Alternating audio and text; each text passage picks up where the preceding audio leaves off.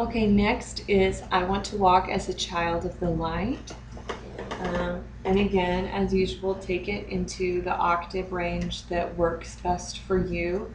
Or if you're used to harmonizing, feel free to try a third um, or a fifth of the melody line.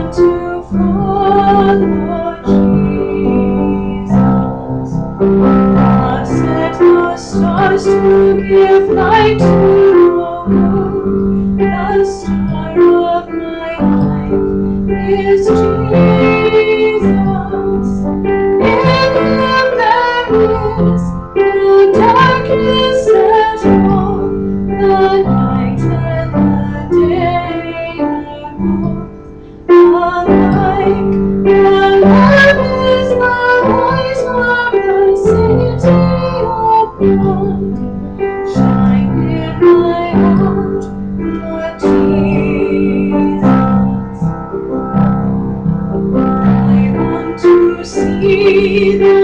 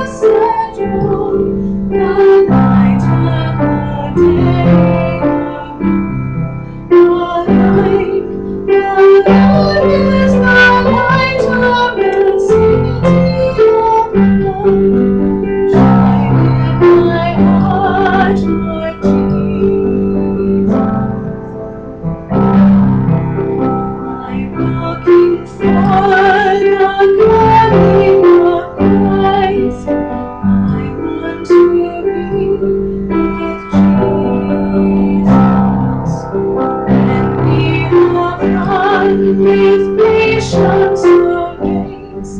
We shall